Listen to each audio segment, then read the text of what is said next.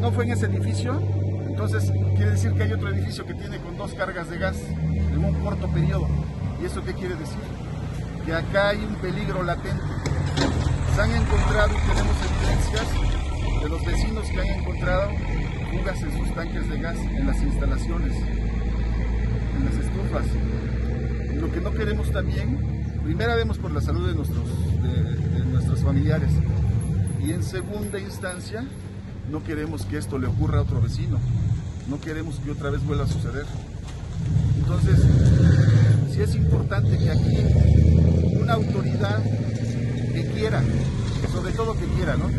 Que quiera ayudar que tenga la disposición de ver qué, qué sucedió acá y que no vuelva a suceder. Eso es lo importante, eso es lo que queremos, que esto no vuelva a suceder.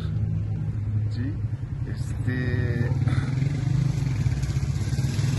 la verdad estamos este, viendo una pesadilla por el shock, por todo lo que pasó y pues lo único que queremos es que no queremos no queremos que no queremos un culpable.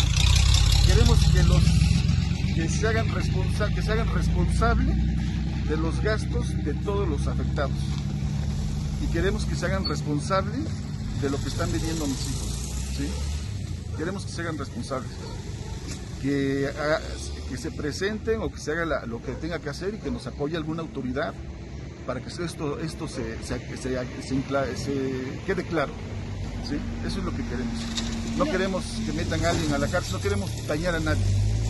Lo único que queremos, sí, no, lo único que queremos, lo único que queremos es que, haga, que las cosas sean claras y que se diga la verdad.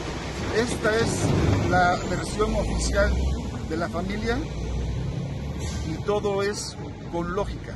¿sí? ¿Cuál fue